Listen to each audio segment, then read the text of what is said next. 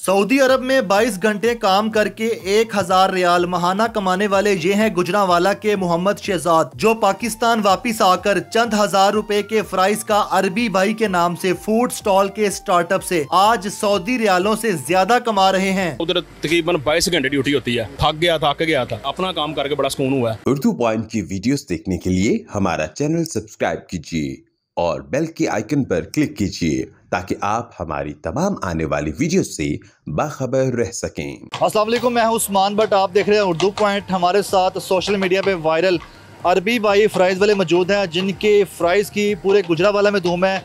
इस वक्त हम हम गुजरावाला में कनाल व्यू सोसाइटी में मौजूद है, जहाँ पर इन्होंने फ्राइज़ अब के नाम से एक पूरा फ़ूड पॉइंट बनाया हुआ है इनके खानों की बड़ी धूम है। बहुत रश लगा हुआ है, बहुत बिज़ी हैं। इनसे जानते हैं कि सऊदी अरब में ये क्या करते थे और सऊदी अरब से वापस आके ये काम किस तरह स्टार्ट किया। सर, आपका नाम? मोहम्मद शहजाद। अरबी भाई के नाम से मुझे ज़्यादा लोग जानते हैं। शहजाद साहब बताएँ कि आप सऊदी अरब में क्या काम करते थे कब गए कैसे गए? मैं अलहमदिल्ला सोलह साल की उम्र में गया था उधर तो उधर मैं फ़ूड का काम करता था। लेकिन उनकी गुलामी जो है ना वो मेरी समझ में नहीं आई। वो छोड़ के इसलिए मैं पाकिस्तान आ गया। अलहमदिल्ला इधर बेहतर मुझे तीन साल हो गए हैं काम करते हुए। अल्लाह का शुक्र है अल्लाह की बड़ी मेहरबानी है। अलहमदिल्ला घर का निज़ाम अच्छा चल रहा है। सऊदी अरब में जो फ़ूड का काम करते थे वो किस तरह गए थे आप सऊदी अरब?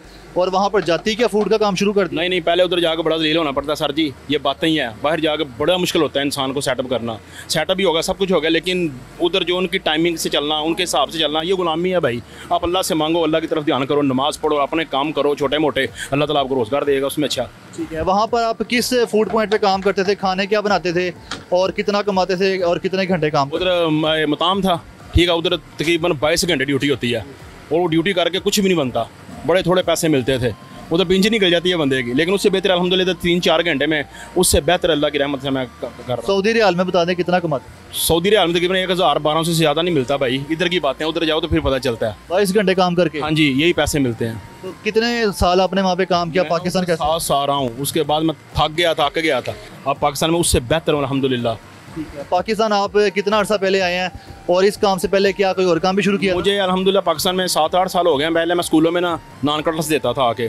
तो लॉकडाउन की वजह से फिर मैं वो स्कूल छोड़ दी है उसके बाद मैं अलहमदिल्ला तीन साल हो गए इस अड्डे पे चल रहा हूँ। ठीक है ये बताइए तीन साल से अब ये काम कर रहे हैं और आपकी फ्राइज़ जो है वो बड़ी मशहूर है। कौन किस तरह की फ्राइज़ बनाते हैं? दो तरह की मैं देख रहा हूँ। हाँ एक हमारे पास प्रिंकल पोटैटो बन रहा है। ये मैंने अभी नहीं शुरू किया तकरीबन पाँच छः महीने हुए हैं। और ये अलहमदिल्ला तीन साल चल रही है। ये अल्लाह की रहमत की इसमें जो टेस्ट बढ़ा हुआ है।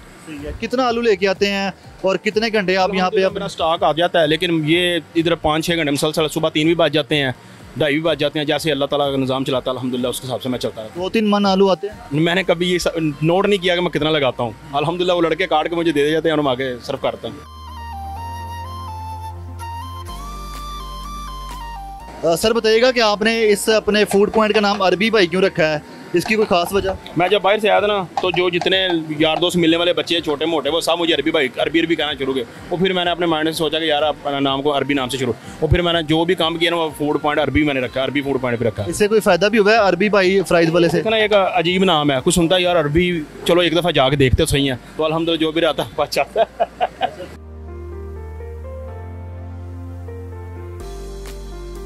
मैं अलहमदिल्ला तकरीबन एक दो माह मुझे मुश्किल हुई है इधर। एक दफ़ा लोगों को जब टेस्ट लग गया उसके बाद फिर अलहमदिल्ला ये अल्लाह का शुक्र है ये रूटीन चल रही है। फ्राइज जब आप बनाते हैं उसको आप डिफरेंट मराइल से गुजारते हैं। मैं देख रहा था पहले उसमें मसाला मिक्स करते हैं। वो क्या क्या मराइल हैं और सॉसेस क्या क्या होते हैं? सोसी मेरे पास सोचती नहीं चल रही है। इस वक्त जो पाकिस्तान में कोई नहीं तैयार कर रहा। वही ज़्यादा मसला है। वो जब आप खाएँगे फिर देखना उसका टेस्ट वो जो अलबेग में उधर सऊदी अरब यूज़ कर रहे हैं ना अलहमदिल्ला वो मैंने टेस्ट इधर दिया हुआ है। आप खुद बनाते हैं? अलहमदिल्ला सोसी मैं खुद तैयार करता हूँ। बाहर भी खुद बनाते हाँ जी उधर भी मैं खुद तैयार करता हूँ। वही रेसिपी इधर मैं यूज़ कर रहा हूँ पाकिस्तान में।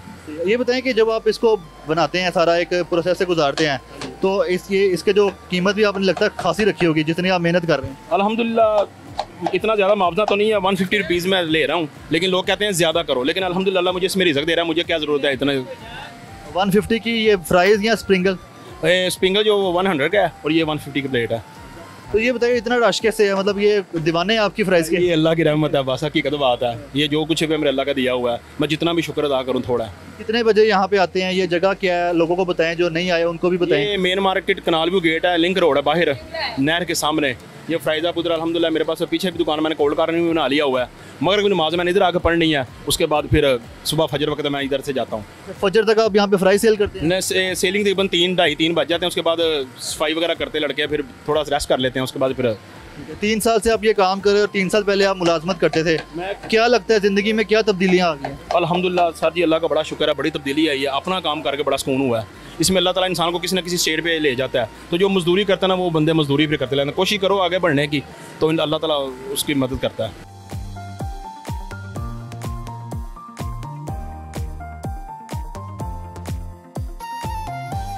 सर ये बताएँ कि अगर जो देखने वाले हमारे नाजरन हैं वो इस बिज़नेस को स्टार्ट करना चाहें तो वो किस तरह कर सकते हैं? आपने कितनी इन्वेस्टमेंट से किया प्लान क्या बनाया? तो कोई इसमें धोखा भी हुआ या फिर आप अल्लाह का शुक्र है सही चल रहा है? भाई मैंने कोई इन्वेस्ट नहीं इतनी ज़्यादा हुई। ये बीस हज़ार से काम शुरू हो जाता है। तो अल्हम्दुलिल्लाह इतने से मैंने काम शुरू किया हुआ आज अल्लाह का शुक्र है निज़ाम घर का अच्छा बच्चों का निज़ाम चल रहा है। बीस हज़ार में आपने कितना से छोटा सा सेटअप लगाया था? मैंने सेटअप लगाया था। दस किलो आलू लेके आया था जब मैं आया था। तो अल्हम्दुलिल्लाह अब स्टॉक आता है मेरा। ठीक है। आपका जो स्टाफ है कितना स्टाफ है और उस वो आपकी क्या हेल्प करते हैं? ज़्यादा काम तो आप ही कर रहे हैं। वो बस ना आगे उन्होंने कस्टमर को हैंडल करना होता है। प्राइस वगैरह देते हैं उनसे बिल वगैरह लेते हैं। मैं बस ये इधर मैं खड़ा होता हूँ। सऊदी अरब में जितना कमाते थे उसकी नस्बत लग रहा है ज़्यादा कमा अच्छा हूँ अलहमदिल्ला सऊदीया बाहर से मैं बेहतर हूँ। अल्हम्दुलिल्लाह अल्लाह का शुक्र है। दोबारा मौका मिले जाने का जाएँगे? नहीं नहीं नहीं चाहूँगा। बस वो जेल से जान छूट गई है मेरी। वो जेल है भाई मीठी जेल है। ना रहने को दिल करता है ना आने को दिल करता। है इस काम का फ्यूचर क्या है? इसमें आप जल्दी ग्रो कर सकते हैं बजाय कि नौकरी करने के। भाई कोई भी काम है ना आपके मुकद्दर साथ दे और अल्लाह की रहमत हो इंसान जल्दी से जल्दी आप हो सकता है। अगर नहीं है ना तो फिर आप जो मर्ज़ी कर लें कुछ भी ना सकता। मैं तो हर बात अल्लाह की करता हूँ। अल्लाह पे मैंने अपनी डोरी फेंकी है तो अल्हम्दुलिल्लाह आज मैं काम